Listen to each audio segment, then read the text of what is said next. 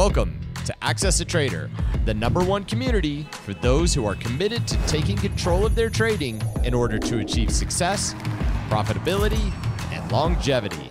Thank you for joining us. Here's Dan Shapiro to help you find your edge, master your process, and own your future. Hey guys, good evening everybody. Welcome to another edition of uh, the AccessATrader.com uh, nightly update show. Hope everybody is doing okay.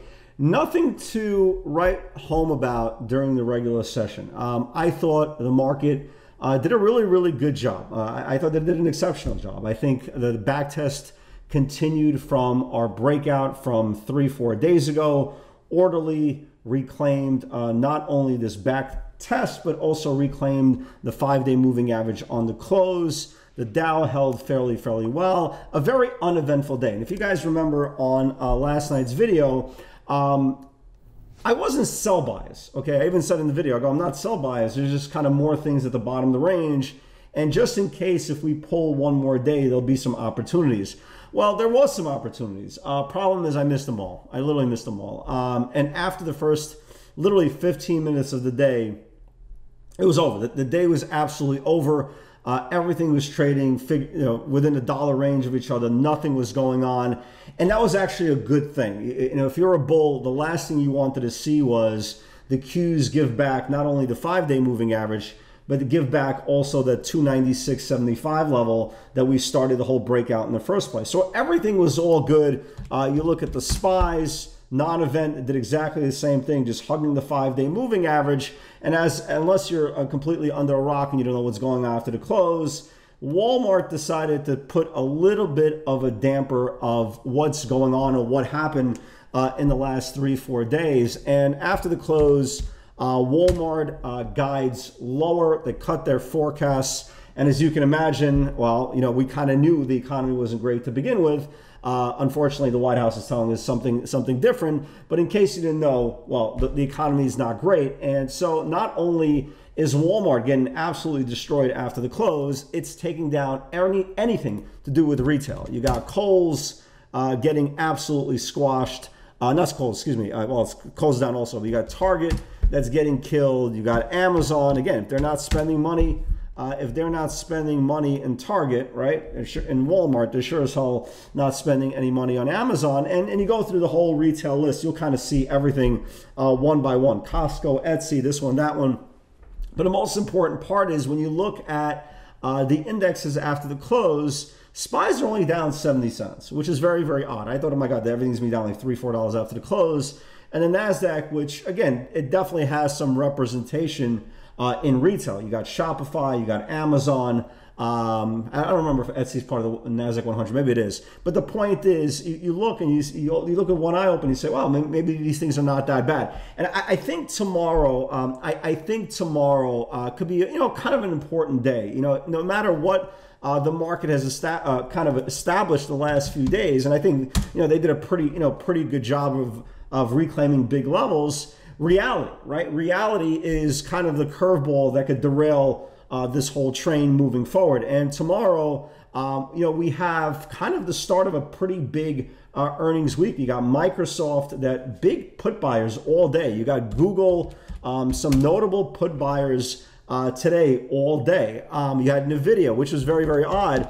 NVIDIA had monster put buying, 160 weekly puts coming in, considering they don't report till August. Very, very odd bets. You know, maybe they were, uh, maybe there were people were making covered. You know, maybe they were trying to cover some other uh, semiconductor exposure, but some very, very odd bets. So I, I think tomorrow uh, is going to be an important level. Uh, today's trading day, I, I, hell, I might as well have taken today off. Um, I had a plan at the open, um, and we talked about it last night on the video. There was some names, you know, that I liked to the downside. The problem is I got the wrong ones. The ones that went down three, four dollars I missed the ones that went down 30 cents. Yeah, boy. Yeah. So yeah, that's that was kind of my day. But the most important part, I think, going into tomorrow's session is number one, we, we want to see if this indeed, right? If this indeed was indicative of, hey, this is reality versus the stock market's reality, then yes, the bulls have uh, every opportunity to give up uh, everything, right? Literally everything uh, that they worked hard for for the last three, four days. But there's a flip side to this as well. And we talk about this all the time. Sometimes news is just news, right? Sometimes it's interpreted bad, sometimes it's interpreted good. We've seen a lot of bad news interpreted good, and you see the stock going the other direction. Here is going to be a challenge, right? And the question is now that it's not like, you know, a stock like a snow you know, is, is warning guidance. Okay, most people don't know what snow is. This is Walmart, right? You know, all of us have been to a Walmart, to a Target. Some of us go to Target for freaking cleaning supplies with their wife and somehow spend two and a half, three hours there. But that's a different story. And also, allegedly, love you, sweetie. But the point is, if middle America, well, not middle America, if Americans are not spending money, and this is a global nationals and people around the world is not spending money, then you have to understand, well, again, this is the reality. Something has to give here. And, you know, these are going to be the key levels going into tomorrow. No matter what you think is going to happen uh, today, uh, going into tomorrow's session, again, face value in the market means absolutely nothing. All right, remember, keep in mind, we had a global pandemic, right? And the market went to all time highs. Now they introduced monkeypox. Apparently, monkeypox is the next thing, right? Don't make out with strangers, right? Delete your Tinder account. I don't know. I don't know how this damn thing is spread. But the point is look, we have a completely different society right now. We have a completely different market than it was 20, 30 years ago. The point is, face value sometimes is good, sometimes is bad, and it all depends how uh, they perceive it. So, kind of going into tomorrow, I mean, look, there's definitely names I, I like to the downside. Uh, that's for sure, right? You know, Google reports tomorrow. You know, it really couldn't rally today. I'm still watching the bottom of the channel here. As we, we talked about last night, this whole level here, I'm still watching. Who knows? Maybe they sell this thing off ahead of earnings. Uh, I'm still watching NVIDIA uh, for tomorrow. Again, that, you know, for some reason, they're just to bombing, bombing those uh, one, you know, 160 puts today. It just, it's just weird considering it's 10 points out of the money and they don't have a catalyst this week. Again, all these odd bets are, well, hell, they're odd. They bring to your attention, just like the way the guy, some guy bet, uh, bought the 130 puts uh, into the close on Walmart today, right? On Walmart, a million dollars worth of premium. Nobody knows anything, right? Nobody knows anything. Nobody's afraid to go to jail. This is pure coincidence, and people are phenomenal guessers. So, again, based on what we saw today on the option flow in the video, again, it's our duty at least to watch it. Tesla, I thought, did very, very well today. Tesla was one of those names today that even when the market pulled in, and yeah, granted, it was down $11, but the stock is up $97 in the last three days. Okay, you got a nice little pullback here. I think in a perfect world on Tesla, and we saw some pretty good call buying towards the end of the week. We saw some 840s, we saw some 850s, we saw a little bit of 800s. So I would like to see Tesla at some point tomorrow, the next day, but some point in the next couple of days, retest this five day moving average. This is kind of where the whole breakout uh, came out. And if you look at the volume, and this is kind of the key here, you know, people always talk about, well, it went down a lighter volume. Yeah, this is one of those cases. If you look at the volume from uh, three days ago, look how big the volume was, right? Look what happened, and look what happened the next day right? Smaller volume today is the smallest volume of all. So you, you kind of turn around and go, oh, you know, the bulls, you know, the sellers are feeling comfortable. And that's exactly what the bulls need to do. The bulls need to make sure that the sellers are comfortable. So if they get down to the five day moving average, they can get trapped. And if they do get trapped and they defend the five day moving average, then Tesla uh, wakes up and you're going to see an expansion channel. But again, we're not there yet. We're just preparing for it. So it's very, very tough to turn around and make a definitive statement any single day. Like I've, I've always said in every single broadcast, nobody knows what the market's going to do. Okay. Only thing we could do is prepare for it. Today, an incredibly slow day. I guess if I would have caught the right names at the open, maybe it would have been a slow day for me. But the point is, I kind of missed my window. I know some of you guys caught some stuff. I missed it. I missed anything that went down three, four dollars. I missed. But I was chilling with all those stocks that went down like 30, 40 cents that I wound up breaking even on. Dope. And that's why we play the game. So let's talk about today's day. Uh, let's talk about today's session. Again, this is kind of what we talked about um, you know, over the weekend, we talked about this pre-market. Uh, Friday, well-deserved rest by the bulls. Successfully tested the five-day support.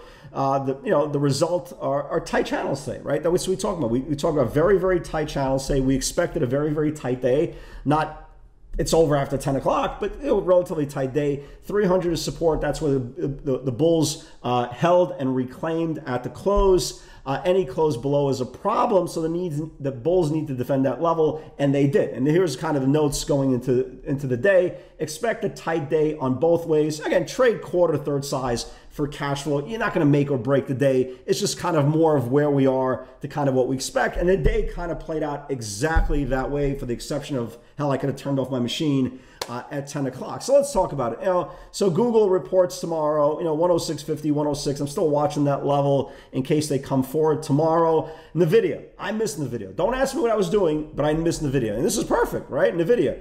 Scalp set up 171. If it builds below, can see 169 and then 170, 70, 70s. What the hell was I doing today, right? Where the hell was I? So it takes out the 171, takes out uh, takes out the 69, and trades right to the bottom uh, of the band at one uh, 166 and change. I don't know what the hell I was doing, but I wasn't in the video. If all you guys got it, congratulations. And then snow again. Don't ask me what the hell I was doing, but I literally missed everything that went down three, four dollars, and I was in everything that was down three, 30, 40 cents. Don't ask me why, but it is. Snow 141, 140, 140, 141. If it builds below, can see a two point move to the, to the 50 day moving average. That's exactly what it did. Uh, actually, it went down a little bit more. Uh, notable buyer came in, just as an FYI, notable buyer came in for the August 130 puts, and that is betting uh, into earnings. So if you look at Snow, again, don't ask me what I was doing. Here's the 140, 140, and it traded right to the 50 day moving average. Again, my head was somewhere knee deep in my own, let's keep it PG. Uh, Cano never went. Uh, coin, again, what the hell was I doing today? I missed every damn stock that went down three, four points. Coin 69, if it builds below, can flush. Here was coin. I literally missed, literally missed everything today. So here was the 69. It took out 69, traded down to 66. Yeah, I guess if I would have just caught one of these damn things, at least, at least the day would have been fine. I, I missed literally everything. And then here, here's me fighting, right? Here's me fighting. So instead of all these, I short meta, right? 68 if it gets below can, can, can snap. So I short meta, it goes down like 30, 40 cents, blah, blah, blah. The futures recover, uh, break even on the trade. Okay, I suck. Okay, letter U. I short letter U goes down like 40 cents. I don't, you know, I don't cover anything. The market, you know, I think the stock's gonna go down to like 34 and a half.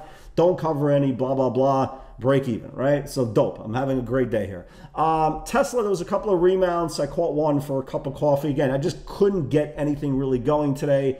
Uh, and that's it. And I said, literally, this is four hours ago. Guys, think about this.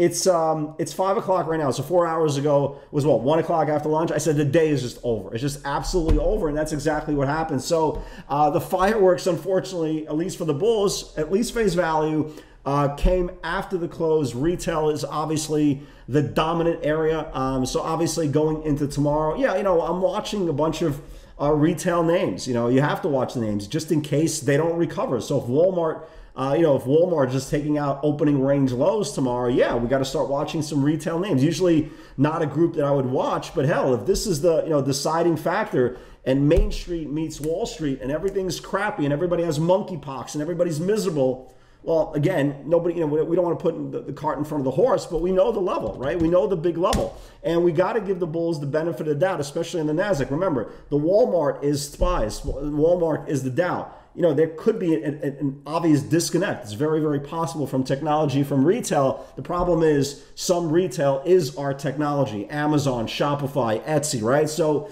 we have a little bit of a curveball. But again, that's what this business is. There's days that are very, very clean, there's days that are very, very clear. Your research is telling you everything is premium, everything is good to go. And then there's days like today, so you wake up and you go, you research and you're like, well, wait a minute. The channels are very, very tight you know, let's trade. This is eight hours ago. It, you know, everything's tight. Trade quarter, third size. This is not the day you're going to make your bones. And unfortunately, that's the way uh, the market played itself out. So tomorrow, I'm optimistic, right? I'm optimistic. Maybe we have one more day of rest, but just keep that level in mind, guys, especially in the NASDAQ 100.